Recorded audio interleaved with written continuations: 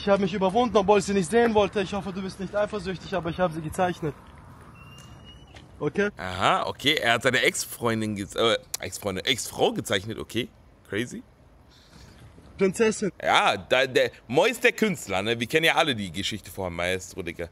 Im, mit, Im dunklen Raum mit dunklen Gewand und so. Du hast mir geholfen, mit ihr abzuschließen, okay?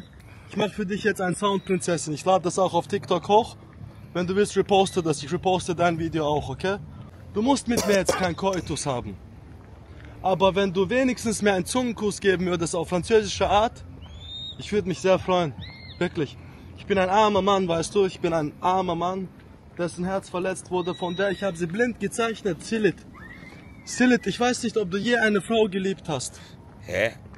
Aber ich muss sagen, so schlecht gezeichnet ist es nicht, ja? Hast du je eine Frau geliebt? Aber ich habe sie sehr geliebt, muss ich dir ehrlich sagen. Silly Und Bang. alleine, dass ihr über sie redet, hat mich sehr wütend gemacht. Aber zum Glück liebe ich dich. Okay? So. Das ist sie. Sie hat so einen schönen Mann, den du so sehr liebst, verkauft Silit. Verstehst du das? Sie hat mich verkauft, Silit. Ich Geil. werde das nicht mit dem hier machen. Der ist für Salah. Wow.